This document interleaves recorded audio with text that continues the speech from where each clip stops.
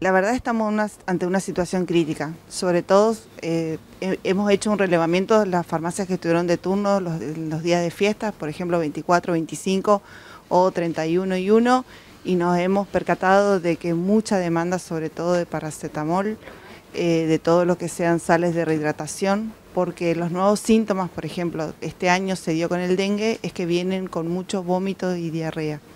Eh, sí estamos ante una situación crítica, se ven muchísimos casos eh, y también viene el caso a la confusión por el tema de la insolación.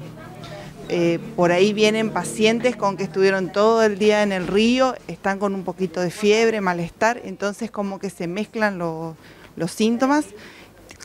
Es la misma recomendación, eh, paracetamol, por lo menos hasta que lo pueda ver un médico y que pasen las 72 primeras horas como para poder hacerse un chequeo.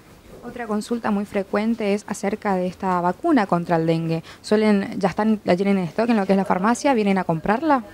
Eh, sí, las farmacias ya empezamos a tenerla en stock.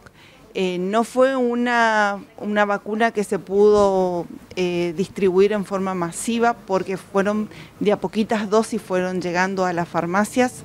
Es una vacuna que hoy está a 51 mil pesos.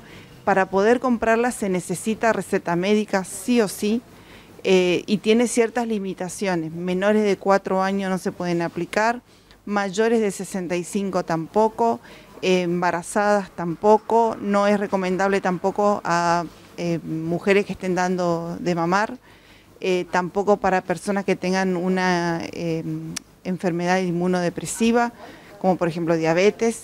Eh, entonces es como que tiene bastante recaudos la vacuna. Tampoco se pueden colocar personas que estén cursando la enfermedad. Es importante que la persona sepa que no está cursando la enfermedad para poder colocarse. Son dos dosis y tienen una, eh, un lapso de colocación de tres meses entre la primera y la segunda dosis. ¿Ya vino mucha gente a comprar esta vacuna? Acá en esta zona no, por el tema de los costos. Por ahí sí, en el interior y en la capital se vio mucha más demanda. Y hay farmacias que tienen eh, los vacunatorios habilitados. Esas farmacias están colocando la vacuna. Y si no, por ejemplo, compran la vacuna y se va con el refrigerante, se van hasta el centro de salud por ende tienen que tener la orden médica para que el centro de salud también les pueda colocar la vacuna.